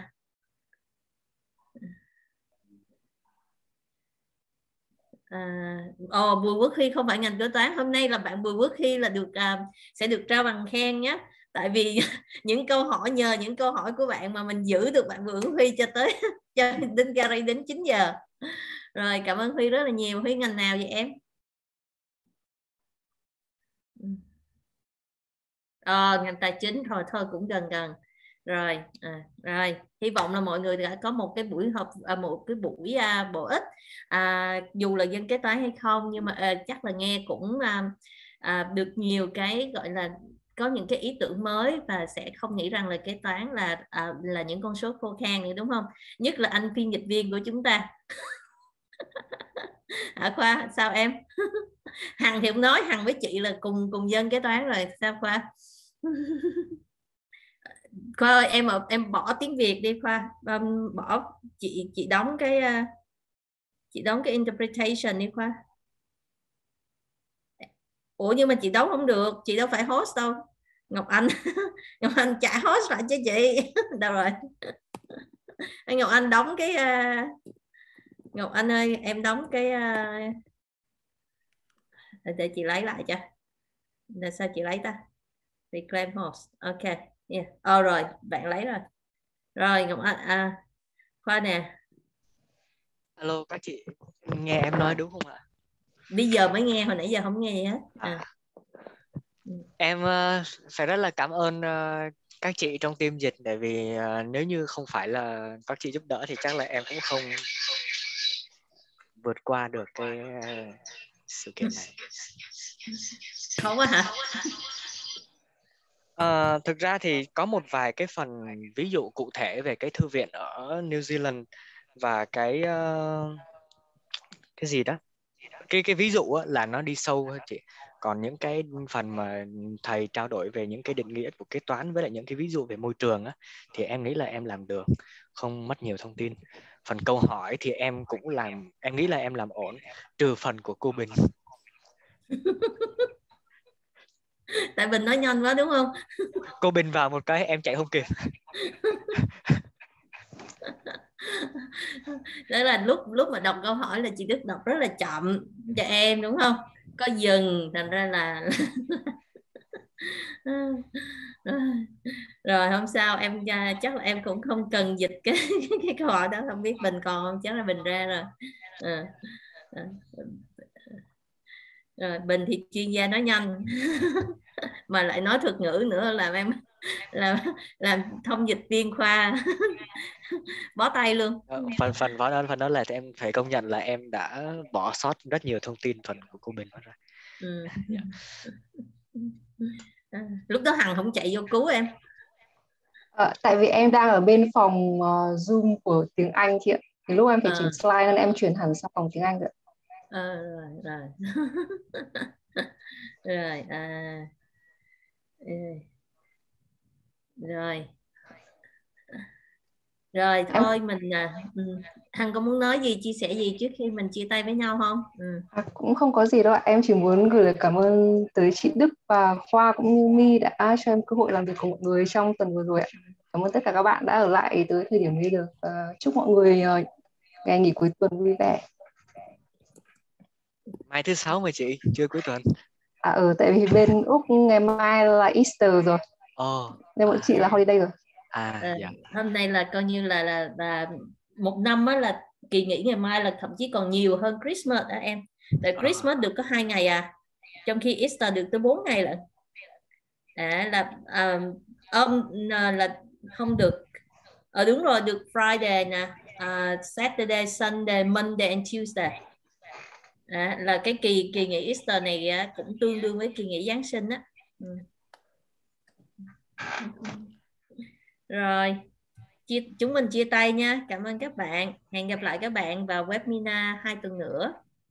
À, à, sẽ có một cái à, sẽ có một cái symposium à, medical khoa ơi.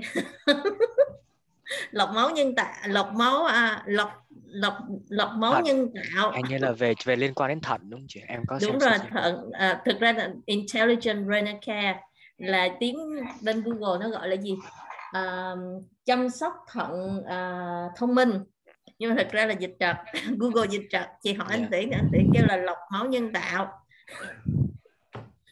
cái đó cái đó chị nói đùa thôi em không phải dịch đâu. Dạ. thực ra những cái đó em không dám dịch.